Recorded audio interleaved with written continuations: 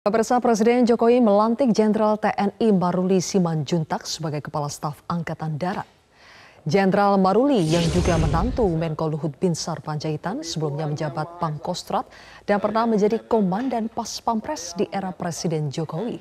Maruli dinaikkan pangkatnya dari Letnan Jenderal menjadi Jenderal TNI. Maruli menjamin netralitas TNI Angkatan Darat dalam masa pemilu 2024.